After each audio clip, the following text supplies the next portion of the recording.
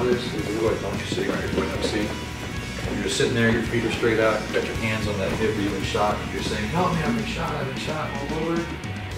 I'm gonna pop out of this room, right? I have my firearm brandished, so they can clearly see it. So they can clearly see, so-and-so, you know, where are you at? Uh, are y'all gonna observe this one?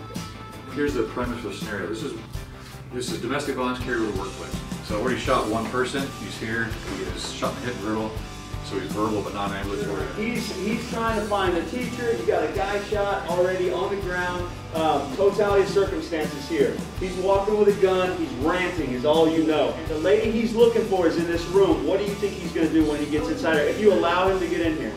He's gonna fire the blade gun.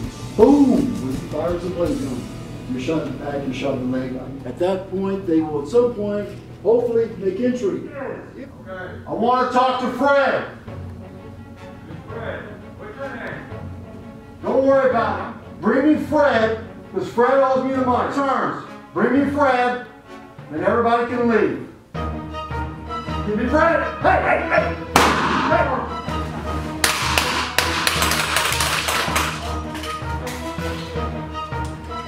Gonna place the wall behind you. Come back, come back toward me. Come to the sound of my voice. Do we need more people in here helping? Get on your knees. Do you want more people in here helping to forward.